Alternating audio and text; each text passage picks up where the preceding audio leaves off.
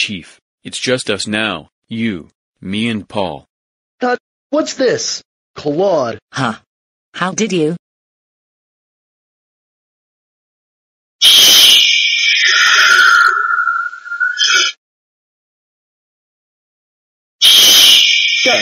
I'm on her ship. That's great, Captain. We are under attack. Thanks, Cap.